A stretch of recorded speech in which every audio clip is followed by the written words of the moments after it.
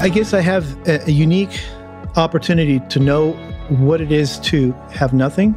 In Argentina, I never had a toy, never owned a ball, a little soldier toy, not a skateboard, not a bicycle. So when I came to the United States, I saw this like incredible, it seemed like Disneyland was literally where I lived. It was like everything was available.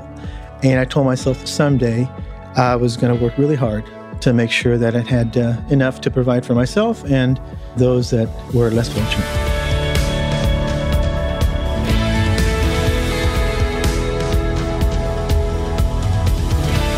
Welcome to DIGS Influencer Podcast, the Titans of Real Estate.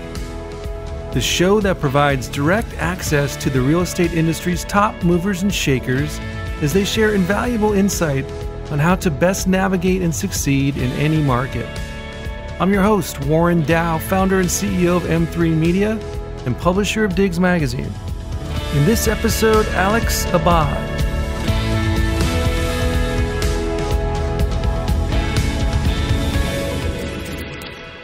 Thank you to our show sponsor, BoConcept. Let me introduce our guest, Mr. Alex Abad. Welcome to DIGS Influencer Podcast. Warren, thanks for having me. It's a pleasure to be here, man. So I'm looking forward to our chat here. But first, I want to introduce you to our audience. You're a successful entrepreneur. You've consistently ranked number one or two uh, top producing agent at Palm Realty Boutique in the last four years. You closed last year, 2017, over 100 transactions in residential and commercial. You have lifetime sales volume over 280 million in real estate. You've been a big, big supporter of, uh, you know, community and charitable organizations. The Ed Foundation, you've personally contributed over, you know, $200,000 in uh, donations. You, along with Nick Schneider, were one of the founding members of Give Back Homes, which has had great success in giving back to the community. Nick is the one who actually brought me into and introduced me to Give Back Homes, and I'm extremely grateful for that. They're an amazing organization, and I'm just uh, very happy to be associated with it. And last but certainly not least, you are in fact what I call the de facto mayor of El Segundo. well, well, we have an amazing mayor now, Drew Drew Boyles, which don't, is a good friend of mine. Yeah, and don't uh, get mad, Drew. I was just kidding. No, I mean that in the sense that you you are a real life, and, and this is the title of our podcast. You know, the influencer podcast. You are a real life influencer in the city of El Segundo. Well, thanks, Warren. Well, it's about your legacy. It's about your home, and it's about your future, and it's about your legacy. So, yeah, I'm involved in every one of those aspects of life today, tomorrow, and the future. So, Alex, tell us a little bit about you. Where did you grow up? Originally, we came from Argentina. My mom, my dad, 1968, we left everything. Of course, we didn't have much. At that time, my mom had to sell her shoes to put food on the table. And my brother and I, along with my mom and dad, we uh, made our way over to the United States, came into California, landed in Hawthorne. And that time, all my dad went to work uh, in El Segundo and my mom uh, started working in uh, Hawthorne at that time. So yeah, that's that's how we got here. And at the age of about 10, 11, I found uh, Manhattan Pier and I started surfing at that age. Nice. And uh, that's when I when I fell in love with the ocean here and and the lifestyle. Manhattan was so different back then, right? Completely different. So different, like night and day. so tell us a little bit more about your family. Yeah, you know, my mom and dad. Uh, my mom was uh, in Argentina was a concert pianist and a, and a, music teacher. My dad had his own business for a long time until he couldn't compete with the government, and then everything went south from there, which created the the need to to make a change, and that's how we ended up here. They became extremely hard workers here in uh, the U.S., and it was an opportunity for us to break the chains of poverty. And so they they gave you know, me the opportunity to take the reins at some point to make a change, That's and they right. certainly did. So it's in your DNA. This it is. I, I guess I have a, a, unique opportunity to to know uh, what it is to have nothing. In Argentina, I never had a toy, never owned a ball, a little toy, sol- little soldier toy, not a skateboard, not a bicycle, not a toy. You had to make your own little toys. You break up a little piece of wood, and that would be your little boat that would, you know, float down the curb to the end of the street, and that was that was my toy. So when I came to the United States, I saw this like incredible. It seemed like Disneyland was literally where I lived. It was like everything was available, and I told myself that someday I was going to work really hard to make sure that I had uh, enough to provide for myself and and those that were less fortunate. That's great, great, great backstory there. So, what did you do before you got into real estate? Well, before I got into real estate, my wife and I were fortunate enough to start a company years and years ago, which we held for 24 years. Started with a $5,000 credit card, which then turned into a $5 million company. It was primarily a large janitorial company that had many different uh, divisions within that company from, from commercial, medical, uh, construction cleaning, maid service, and carpet flooring and construction cleaning. Wow some five thousand on the credit card to 5 million in sales. That's that's pretty impressive. Yeah, it wasn't overnight. It took some time, but again, it's a testament to the opportunity that somebody has here. Yeah. Uh, if you're creative, and if there's one thing I learned, is that you always want to create the change you want, because nothing is, n- nobody owes you anything. Yeah. Uh, there's no entitlement. At least that was my impression. I had no entitlement. If I wanted something, I had to earn it. I had to create it. And so, again, it's a testament to the ability of any individual having the opportunity to create something for themselves. And it, it, it did, you know, it took some time, but that's what we developed. And we were able to employ, you know, hundreds of employees and create uh, a lifestyle for them as well. So it's, it, it goes pretty deep. So as you looked at starting and creating something, a business, was there anything specific that that drove you to, to do the commercial cleaning type service or well what led to that was in in 1990 I was working for Hughes Aircraft, and I got caught in that massive layoff that eh, you know thousands of people got laid off, and then you were out, you know, basically trying to compete for the same position with thousands of other people. So I told myself I got to do something different. I had two little, you know, children at that time, and I felt that you know going into business for myself was the best thing to do. My wife, who is uh, an amazing, well, she's a cleanaholic. You know, she just loves to clean, and she had uh, this little side business of cleaning houses. And so on one end, I was actually working on developing a surfing magazine at the time, but it was a very expensive proposition. And she had this idea of creating a small little, you know, cleaning business. And and the probability of success was was greater on her side than on my venture. So I put everything I was doing on the back burner, and they decided to help her develop that little side business into what I had no idea, which was like a lemonade stand that turned into a lemonade factory. Mm-hmm. Within six months, you know, she was generating over a hundred thousand dollars. Wow. So yeah, it was really really interesting. You know, when we sold our company, we sold eighty percent of it. I think that we were providing uh, just even on the on the house cleaning, we were doing six hundred homes a month. Wow. Very impressive in the story that you're telling, I'm always I always admire people that come from adversity, but more so the people that come from adversity that use it as a gift.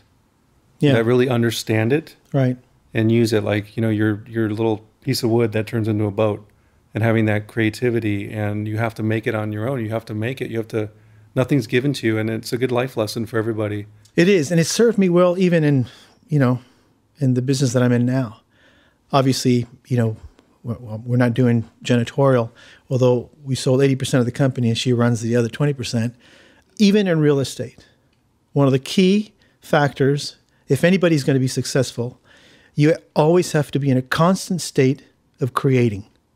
If you're not creating, there's a high probability you will not succeed in real estate. I mean, you can really break it down. And, and that's plenty of material for another podcast, but but you really do have to be constantly be creating. And I know that you understand that in the business that you're in. Yeah, absolutely. And tell me about a failure because we're talking about success, but failure sometimes is the quickest and surest path to success. Right. In a weird way. Right? Sure. Have sure. you had one or two or M- many? I don't necessarily look at it as as failing. I've learned, even when I was younger, uh, not to set myself up to fail, but allow myself to to start all over again. Yeah. And it wasn't about failing or falling, but to me, it was always how do I recover from this? How do I stand up, pick up the pieces, and make every step count from that time on, and then create what I really need? So, those opportunities in life when doors seem to just you know shut right in your face or things come crumbling down when you least expect them they could rearrange your entire life Yeah. they can rearrange your objectives and your perception and if you allow yourself to learn from it you come out a lot stronger a lot wiser and then you can handle any other quote unquote failure from there on a lot more successful I agree. The failures, they're exceptional opportunities to learn. right Exceptional. And, and, and it's the best kind of learning, of course you know, because you can read and study, but when you do and, and you fail, you learn. And, and hopefully you don't do that or you do it a little differently than what you've learned. Right. Well, it's it's not a natural feeling, right? So nobody wants to nobody wants to fall down. Nobody wants to get hurt. You know, I raced motocross, and if you want to complete a course, uh, in this case, I raced tracks mainly. And tracks, there's different parts to every track, and there's jumps and there's tabletops and there's doubles and so on and so on, and they will challenge your ability and your skill set. And it's not whether you're gonna fall, it's when you're going to fall. And you just know that there's going to be some collateral damage, maybe, but then you're going to learn from that. You're going to learn about, you know, how fast you have to take that jump the next time so that you can clear it. And when you clear it, your landings are just super smooth. It's really nice. But when you come up short, Oh. Ouch. ouch. Yeah. So, like, when did you get your real estate license? So my wife and I decided to make a life-changing decision to sell the company that we had. We ended up selling 80% of the company in 2003. Then I took about a year, year and a half off of basically not doing anything except what I really wanted to do. A lot of surfing, a lot of traveling, and and then to begin to decide what I was going to do from here on. Real estate was something that I've always enjoyed because a part of our business before that was providing construction cleaning to a lot of basically 90 to 95% of every new home that was built in the South Bay. Our company was doing the construction cleaning. So I interacted with the contractors and the real estate agents. So I knew a lot of the the uh, agents who were already in the business for many, many years as a result of my previous company. And I loved what they were doing. And I thought that was a fascinating life and business and so on. So I- I decided at some point, you know, I think I'm going to get my real estate license. I have no idea. I had very little knowledge about it, but I think I like to do that because I'm I'm somewhat of a people person. And I ended up getting my license in 2005. And then I called Jack Gillespie, who was with South Bay Brokers, owners of South Bay Brokers at that time, and I asked him who he recommended I hang my license with. So they brought me on board and said, "No, we we'd like you to you know hang it here." So I did. But again, my perception of what I needed to do in real estate was completely different than what their requirement was for an agent. For me, if I, I thought, hey, you know, if I can just do maybe one transaction a year or two, I'd be I was going to be very happy because I was in a position in my life where I didn't really have to sell real estate to make a living. That was not the business model for South Bay Brokers, and they they clearly stated to me that it was going to be, you know, you're going to spend a lot of hours, and we had nobody that performed in, in, in that little of a, you know, that just wasn't going to work. so actually, I was disappointed. I actually went home and told my wife, I don't know if I want to do this, because I know, I know the type of person that I am, and it sounds like I'm going to have to just like dive in. And, And- and there's only one way for you. It's all all in or I'm either really, all sort of, yeah. or not. It took me about almost a week. I had to like digest the whole thing. Do I want to just throw myself into it? And I ended up deciding, you know what? I'll throw myself. I'll give it 100%. I have no idea what the outcome's going to be, but at, at least I know that I'm giving it all. And here I am. So how long did it take you to, for your first sale? Tell and tell us about that. It it it only took me within the first I think uh, month that I was involved, because I had a lot of connections, and people knew who I was and the quality of in, of individual that I was. So they knew that with Alex, they knew what you're going to get. For South Bay Brokers, the first year I was rookie of the year. At that time, South Bay Brokers had 150 agents approximately. And uh, I was rookie of the year the first year. The second year, I had another great year. And I think within, within the first three, three years, I was in the top 25 there. And then shortly after that, I started in Manhattan Beach off of Sepulveda there. And then uh, I decided to open up an office in Hermosa, and Nick Schneider and myself got And involved in doing met. that. Yeah. And that's where we met, exactly. And then shortly after that, I decided to open up another office in El Segundo. And that puts you on a whole nother trajectory, right? It did. Um, so tell us about your decision to go back to where it all started in a sense and to focus and say, this is going to be, you know, my turf kind of thing. Right. Yeah. So it's an interesting decision because when I first started in real estate in 2005, the the market was kind of on a downward trend, and and yet El Segundo was known for being very cliquish, very tight, extremely tight, and so I didn't start out in El Segundo for that reason. I wanted to start out in you know in the quote unquote the larger area of the South Bay and allow myself to be established, and and I thought I had accomplished that over the four four or five years. And then I decided to to establish most of my business, if you will, in El Segundo because that's where I lived and that's where I raised my kids. They went from you know kindergarten through high school there, so I was also known in the town, and I felt that I was going to have a maybe a good opportunity there to kind of build a, a pretty decent real estate business there. Not everybody thought that though because it's such a small town with an average listings number of listings. At that time it was probably anywhere between 12 and, and 22 and then it, as the market got better average number of houses for sale it averaged between 8 to 11 sometimes it was only like five homes for sale single family homes in the entire town. So you know when you have 24 agents you know you have to really consider who, who's going to be making a living but interesting enough el segundo has been very very good to me You're now working with your daughter, Amy. yeah, so Amy came on board, and sh uh, this is now her. She's going on her maybe third, third, third year, fourth year with me. She's full time. She's a mother of four beautiful little girls, and she's doing tremendous. She's doing just great. Hardworking mom. So did you recruit her or did she, she see the success and say, all right, Pops, teach me? It's not like recruiting, you know. Right, you know what I mean. I, Yeah. can see her talent, and she's an amazing individual with tremendous people skills. And so, at that time, she was managing the good stuff in El Segundo, and everybody loved her, and everybody loves her. Period. She's just like a ball of sunshine. So I told her, I said, "Hey, you know, why don't you, you know, why don't you get your, you know, real estate license and, and come come work with me full time? I think you would do really well." So she did. She's a really good learner, and I've had the opportunity just to sit with her and teach her a lot of things that I that I've learned. And she's a really wise, really sharp, and doing no doing really really good. That's awesome. Yeah, yeah, it is. So here's, you know, a question I like to ask. And, Yeah. you know, I've probably asked this to you before in our travels, but like, what differentiates you from, you know, everyone else? I think what differentiates me is that it's the quality of the brand. You know, the business of real estate has nothing to do with selling houses. Selling houses is the byproduct of real estate. The business of real estate is you. You are the product. There's over 3,500 agents in the South Bay.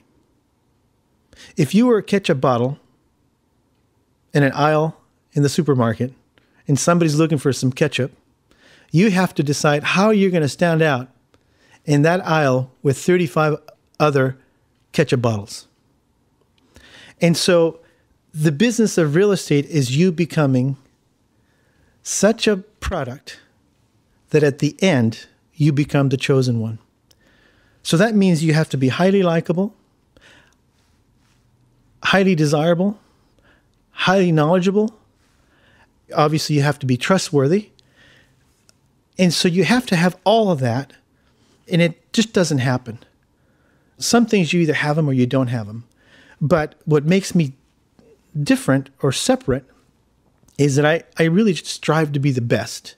I have really no desire to be like the biggest, even though sometimes we agents like to qualify themselves as like, you know, number one, so on and so on. I, I really kind of like shy away from that.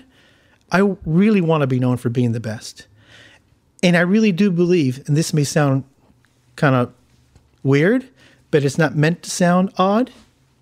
I believe that I am the best at what I do above others. If I did not believe that, I should be referring somebody else for the job. Love it. You know, and, and you and I align in so many different ways, Alex. When we first met, we talked about brand, and you know, we have the same mindset in that you know the ketchup bottle analogy.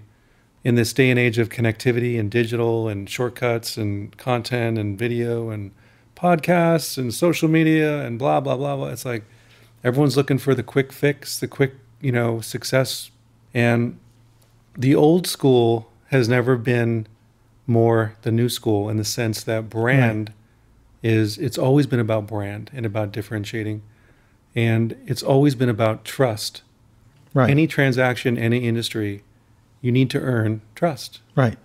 And right. and brands have always demonstrated the ability to do that better than any anybody or anything and and thus they have repeat recognized you know they're recognized and repeat customers and what have you but it's far and few between that that agents in this business recognize the importance of that. Yeah, you're right. And and what happens is that, and I see it in a lot of agents, especially young young agents, that they want to get to quote unquote the top super fast. They want to get in, and I mean, who wouldn't, right? But it's real estate is one of the hardest things you'll ever do. The business of real estate is the hardest thing you'll ever do it's the type of business that it's probably the business that you're going to spend a lot more money in just about anything else that sometimes you don't see tangible results immediately. And it's it's the type of business that sometimes you only have about five minutes not to get somebody's email and phone number you got five minutes to get their trust. If you can get their trust you probably have an opportunity to get their name and, and, and phone number. But what I see, it's it's sometimes it's backwards. People want to get people's names and numbers, and and that's really not the way to go. At least for me, it isn't. It's not so much what you say all the time; it's what you do. And you know, you've got a great quote. I don't know if this is your exact quote, but you've said your greatest achievements are the things you do for others. Correct, and that is my quote. So great. So and that, that's what I live by. You know, DIGS and myself have the same sort of mantra in that it's always about for to get someone's time and attention and or ability to earn trust you have to exchange value. You have to it has to be about you know value and, and doing it just as you as your quote for others not for yourself. Right. That segues into your you know which i think you've done a great job with this whole the tower 60 thing which i want you to talk about but that embodies really something you're doing for the community creating a, a value exchange and you know something that's that's for the community. Tell right. us about that. Sometimes people ask me, "What's your greatest achievement?" You can break them down because it's not just one thing.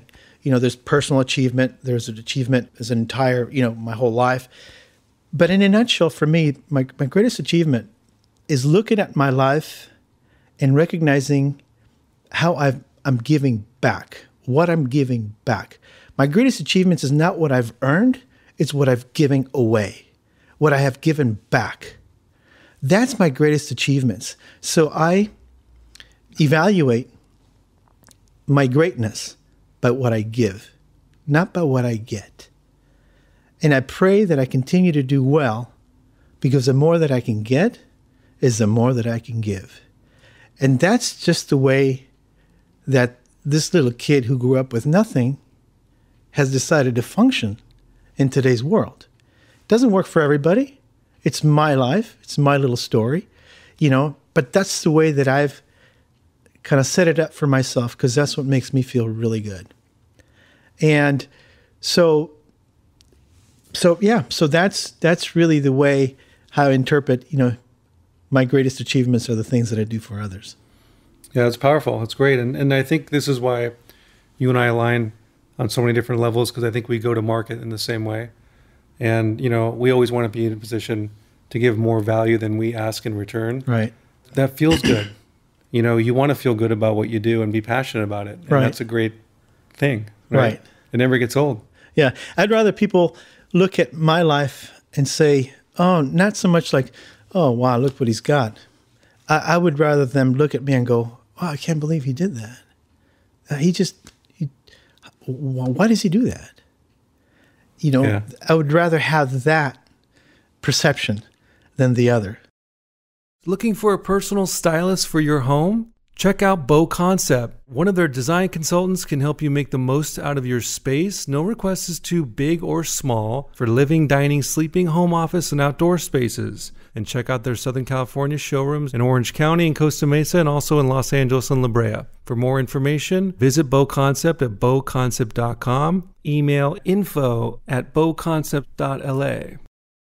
How important do you think it is to have local market or and or neighborhood sort of knowledge? It's extremely important. And that's the part of the brand that has to have the knowledge. Because if you're knowledgeable, then you are desirable. And if you're desirable, then you're likable. And if you're likable, it just it just feeds itself. So you have to have the knowledge. You have to be, be able. And I'm not talking about information because we're all swimming in an ocean of information. You have to be able to provide knowledge about something that's specific to that individual who may be considering an area, a home, or they're looking for one, but they don't have the knowledge. And so knowledge is powerful. And so, given the area that I work uh, in or I farm in, using those words that people may understand, I have to be extremely knowledgeable about the, the business end of the area, the residential aspect, the educational aspect. I mean, all the way around to be able to provide someone enough information so that they can make a good decision. Because at the end of the day, we don't sell anything. I don't sell anything. I provide the best possible information by which someone can actually make an intelligent decision. And then I'll help them through the whole process. What kind of advice, like if you were a seller, someone, Alex, I'm considering selling my home, what what advice specifically would you give them? In today's market, like right now, and what we're going to be probably, you know, navigating into, one of the most important things as a seller is going to be price. Because things have changed. They've been changing now for a little while, but they've certainly changed. And we're going to be probably looking at additional changes coming into 2019.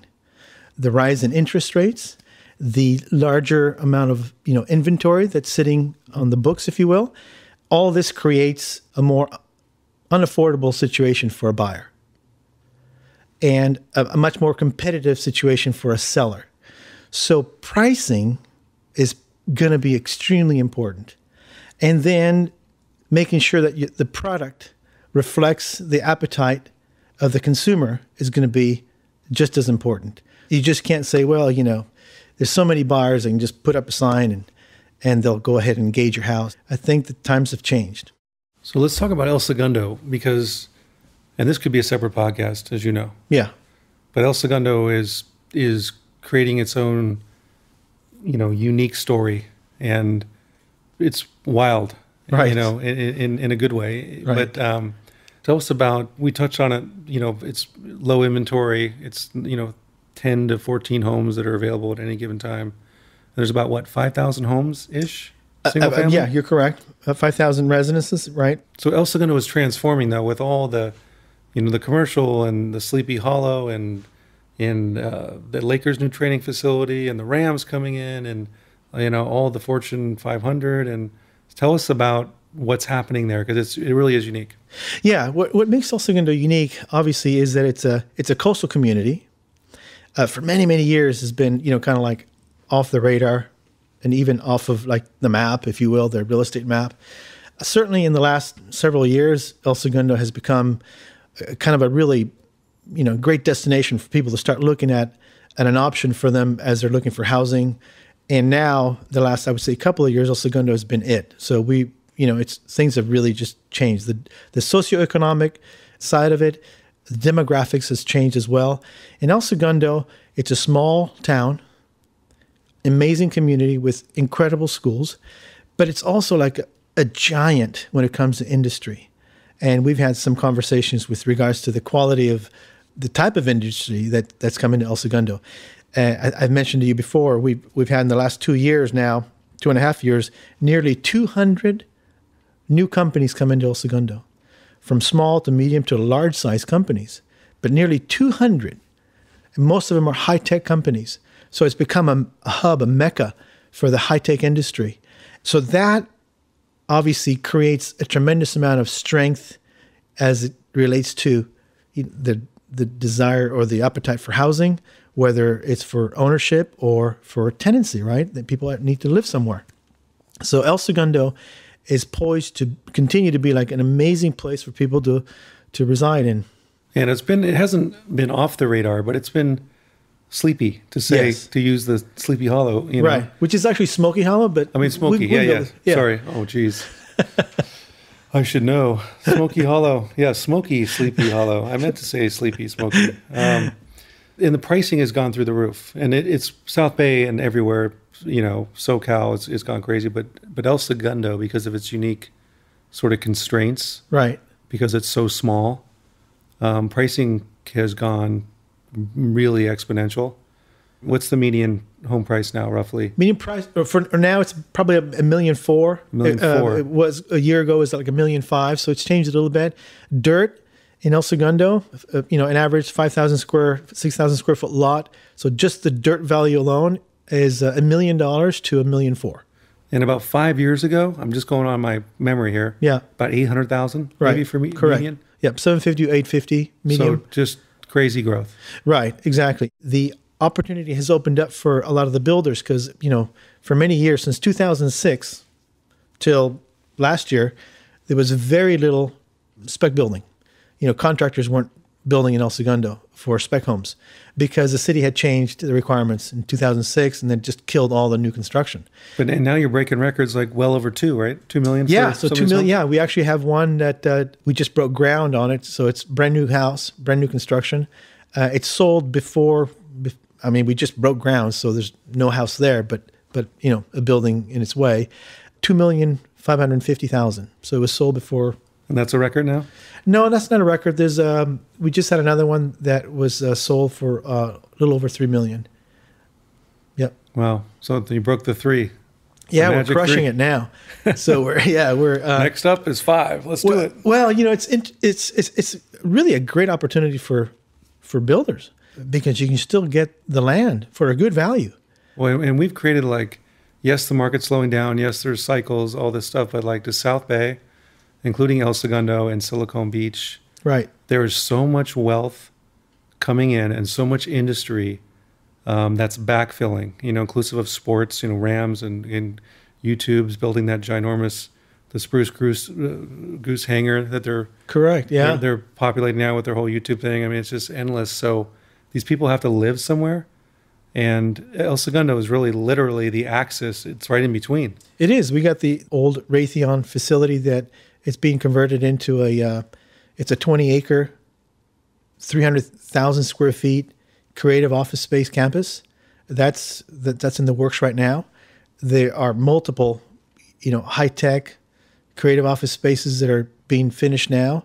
There's about a, over a billion dollars in construction in El Segundo right now. So El Segundo is, is humming. So that that's going to create a lot of strength for our local real estate market to kind of like, you know, it, it'll just support what we have here. So I think for the next couple of years, we're looking at a pretty decent real estate market. After that, I really I don't have a crystal ball now, but I certainly can't see after two years. But we're going to have a we'll continue to have a strong market for the next couple of years. But certainly also some make some adjustments as well because of uh, because of interest rates. Yeah. Yeah, interest rates are definitely. I mean, as you know, the the real estate leads you know recessions and leads you know booms or Yeah. you know recovery. Yeah, exactly. Uh, so we're we're leading indicator both on the down and the up. Yeah, exactly. But interest rates are something to really pay attention to, and the affordability. Like that's the biggest sort of you know topic of discussion besides interest rates. in right. And I think over the years, you know, as, as prices have gone up, if you think of it, you know, you, you got this chart on one end, you got prices going up. On the other end, you got buyers who are climbing as well to meet the high values, right? At some point, it begins to cancel itself out where it's become unaffordable and and people get priced out so they stay off of the buying pool if you will they think that well this this bubble is going to burst at some point and then we'll jump in well there's really no bubble to burst here because the circumstances are quite different than the previous circumstance we had but yeah but it cancels itself out and and the air up there is pretty thin that plays into every price point. So whether it's a first-time buyer who's looking between, let's say, you know, 900 to a million two, or the guy who's going from a million five to a million eight, and so on, from two million to two million five, all those peaks get pretty thin. So I think the small adjustment that we're going to have now is going to create more of a normal market where buyers are going to feel like they uh, they they have a little bit not so much an upper hand, but they they have a little better opportunity to negotiate. a little more breathing room. Yeah, absolutely. And what's wrong with three, three and a half percent appreciation every year? oh, nothing. I mean, No, on, a, on a million dollar asset. Uh, no, it's it's it's amazing. Yeah, people, buyers still have to look at the long term, right? It's a great time to buy. Some of the buyers are holding off to see what happens. With regards to the business side of it, the commercial side of it, El Segundo has been voted for two years in a row the friendliest business city. Second, it has for a business some amazing tax advantages. We have the lowest business taxes out of any city. The lease rate per square foot, where the average price, like in Santa Monica, could be, you know, over five dollars a square foot. In El Segundo, it's like three thirty a square foot. So it's very appealing for companies to come into El Segundo because logistically speaking, they're they're right there. They're, they have easy freeway access, tremendous hotels for their employees. They have tremendous schools, uh, access to the beach, the quality of life. So it's very very appealing for a lot of these companies. And El Segundo has been underutilized to a degree, in the, in the sense that it had land to develop. Right. It had, you know, it had space. Right. And It had, Correct. it had a city willing to get creative and be be supportive of that growth, which is unique. That's right. Yeah, you know, it, it, still remains to be the aerospace capital of the world, although the aerospace has changed. It's going from aerospace to high tech. And so the opportunities for El Segundo and its growth is it's just amazing. There's still a lot of available space in El Segundo. Playa, they they ran out of available commercial space. So they're tapped out. That's why that Silicon Beach movement has moved over to El Segundo as well. Let's talk about the Tower 60 sort of phenomenon Yeah. that, that you've created again, because I think it's a powerful lesson for, and it, it embodies sort of who you are as a person. But there's also a sort of a powerful marketing story there, in that if you're doing something for community and or creating value around a community, Right. Um, you're in essence creating a brand, whether you know it or not. So, tell us a little bit about that, like the origin story of that Tower yeah, 60. so that it's it's really amazing how this whole thing turned out. It, it started with a photograph I took in 2016, and in 2016 we had the uh, fires in the valley, and it created some of the most amazing sunsets because of the and by the way, I remember when you showed that photo to me on your iPhone, yeah well before Tower 60. Right. You said, "Check this out," and I was Right. like, "Whoa!" right. So that photo, it, it was so likable that I think I posted it one time, and and I had requests from people from all over the place. Hey, can can I get a copy of that photo? Can I get? So I did. I sent it all out, and it became, you know, again, just a really cool photo. I think I took over 50 shots with my iPhone, trying to get the sun in the right place and so on, and and and I picked the one that I thought was the one I liked that Christmas, uh, my wife said, "You know, so what are you going to do for your clients?" I said, ah, "I'm not really sure what I'm going to do." Uh, she said, "See, she's the one who suggested. Why don't you go ahead and take that photograph, put it in some really nice coffee cups, fill the coffee cups with chocolate kisses or whatever, and uh, send them to your clients as a little gift, and you know, with a nice little card." So I said, "Okay, I, I, I guess if it's not too corny, I guess we can do that." So we did. I sent it to all my clients, and I also created a photo of the mug And then people began to ask me for the mugs from all over, from all over, from Hawaii, from Colorado. So I found myself having to make more cups, and I think we we we gave away thousands of cups, and I shipped them all over the state. it now- cost me more to ship it than, to, than anything else, but they wanted it, so I. I I now you're in the merchandising business. You're like, wait, how Oh, do we get? well, how do we? What, what happened? It, it really was, and then and then we decided, well, I think it might be cool to maybe put it on a hat, and someone made the silhouette off of the Tower 60. And by the way, Tower 60 is the El Segundo Tower. That's where the 60 comes from. It happens to be the tower, the lifeguard tower, at the very end of Grand on El Segundo Beach. And so we ended up getting the silhouette done, and we put it on a bunch of different hats. And then I started like giving away the hats. So I promoted that through, you know, Facebook and and, and social media and different avenues. And then it, it just went crazy. I mean, people were coming in every day. Somebody would come into my office every day to get a hat. And we did that for about almost a year.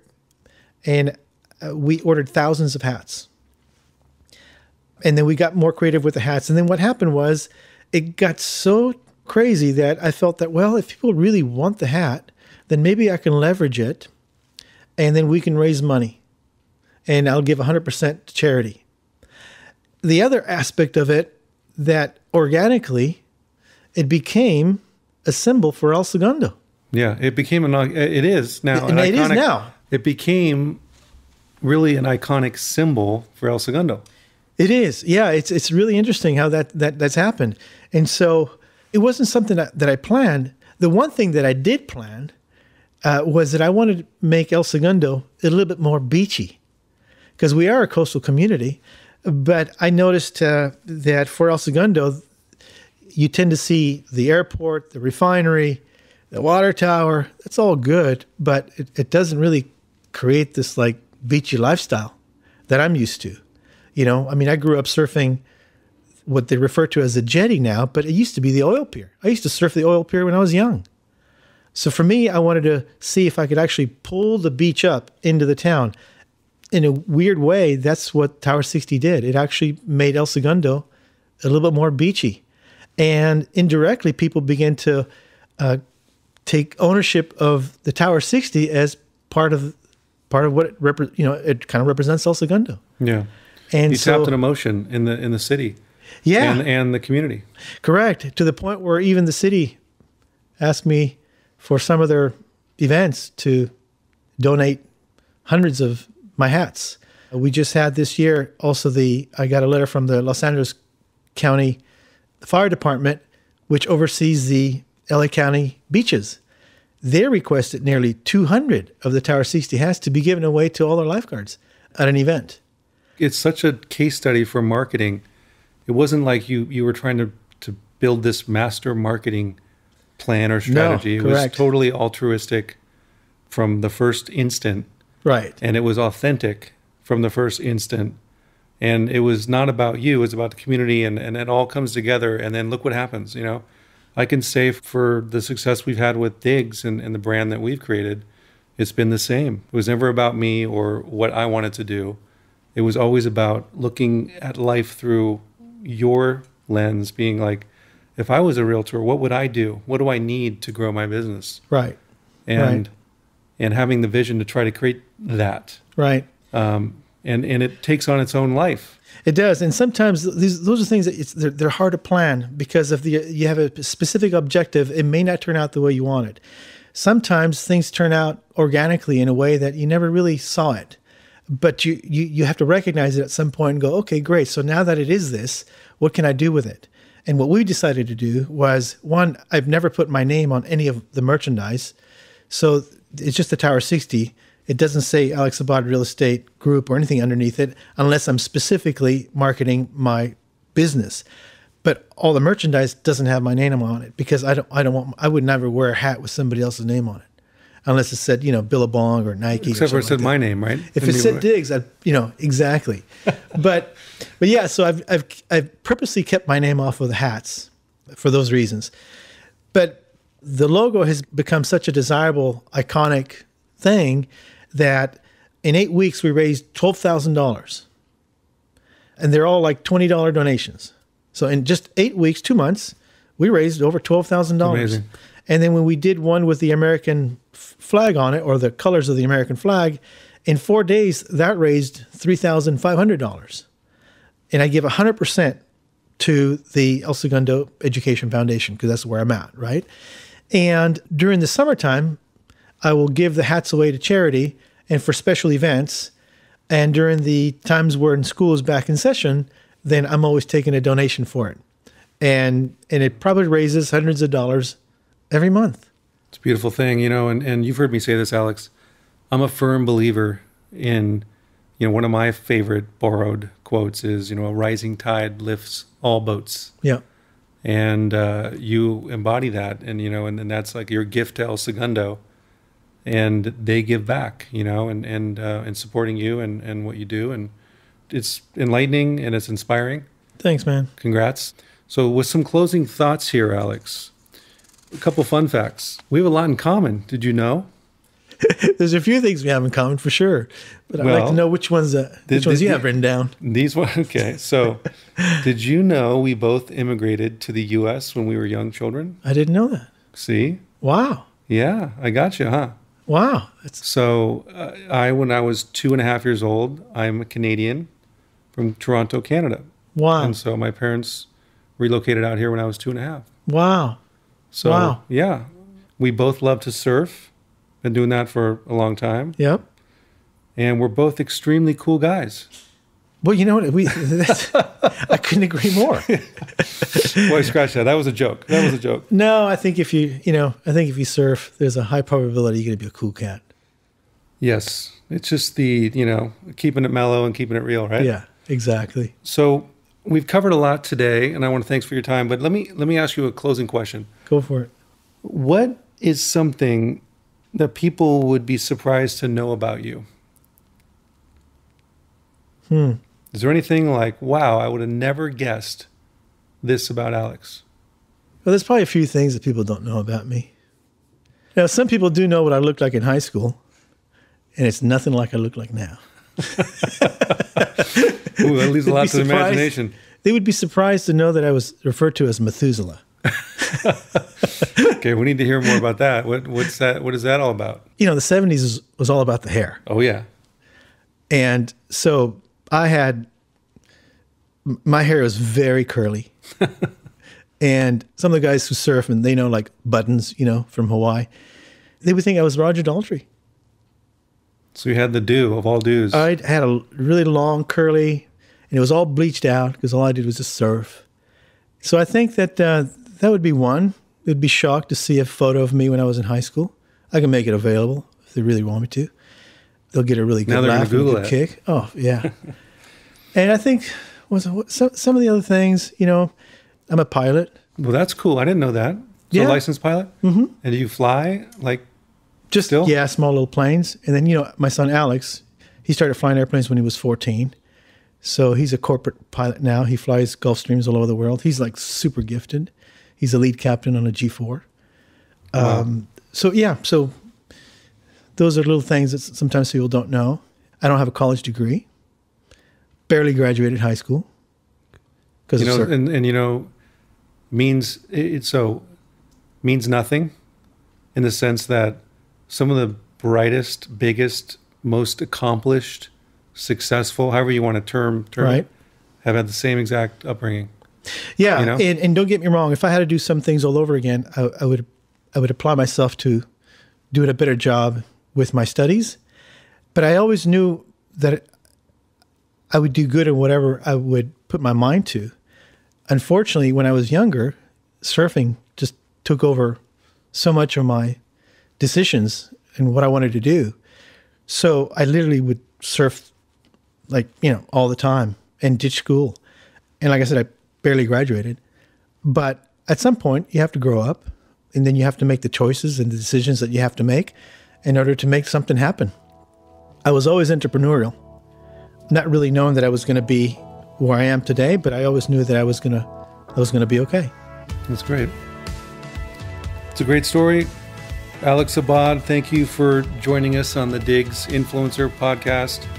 Wish you continued success, my friend, and uh, we'll do this again soon. Thanks, Warren. It's a pleasure being here, man. Appreciate Right it.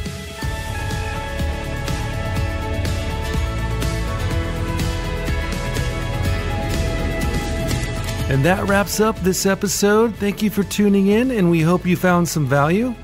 Please share, subscribe, and leave a review. Find us on iTunes and your favorite podcast provider. Until next time.